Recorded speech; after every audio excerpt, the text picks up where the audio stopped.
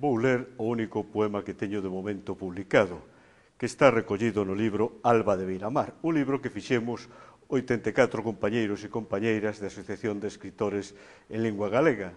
Foi un libro que creamos precisamente por internet, a base de correos electrónicos enviados a Yolanda Castaño e que logo saiu este libro. Este libro foi creado precisamente con motivo do desastre do Prestige. Comezarei lendo este poema que se titula así Cantar de amor, escarnio e pranto polo mar.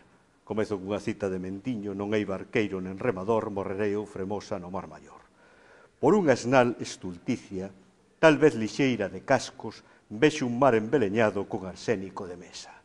Cegado polo mar negro, morrerei eu triste arao, non vexo Vigo nin Cangas nin a ponte de Sampaio.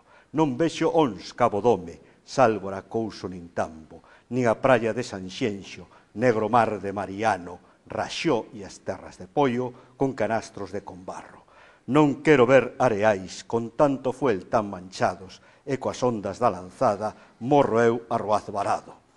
Non vería o mar de Arousa, mar de terras desterrado, cultivado en mil bateas, bacelar naval humano, que dá froitos saborosos, dende atose ata cambados, Vereino porque o salvou unha armada de mil barcos que armaron os mariñeiros cando non fixeron caso ás voces que lles dicían «Podedes seguir pescando, que non hai marea negra, que é un invento de catro perigosos activistas que só queren enganarvos, pero o mar que todo torna evidencia cal engano, e é que en tanto mente mentireiro consumado. Dende a guarda taburela contra a marea loitaron, eles sois, pois nesta hora, nos que mandan non fiaron.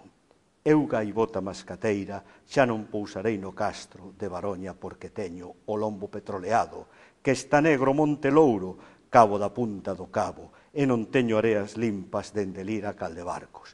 Choran os deuses do pindo, vaguas de sangue callado, vendo aquel corvo mariño na gran lobeira afogado, abafado por vapores deste mar jalipotado, que enzoufado ali morreu e levan crucificado na gran manifestación da cidade de Santiago na que os voces generosos a nosa voz pregoaron.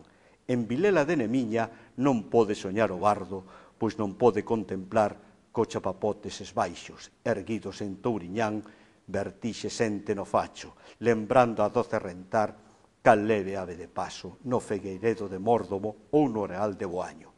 En Camelle tamén morro, con man o alemán amando. O mar, a terra e a vida, pedras que fora pintando, que piratas aleivosos impunemente mataron e un fato de incompetentes nesta xeira remataron.